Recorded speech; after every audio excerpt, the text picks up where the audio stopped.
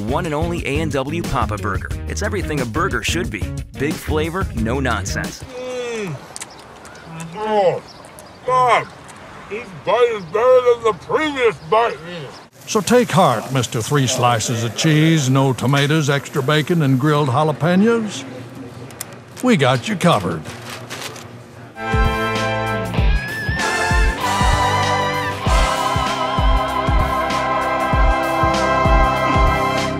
There's bacon, three slices of bacon, I believe they say on the website.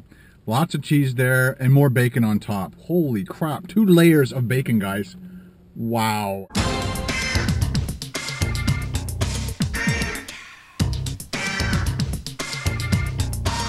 It has millions of drooling fans. It knows the recipe for success. The Shack Burger is our version of the classic cheeseburger. The most classic, iconic hamburger from dating back to the 1950s. By placing the bottom bun in the middle, okay, making sure all the toppings This is are gonna be a in. hard job right here. Yeah. Woo! this is a big burger. It's a big burger.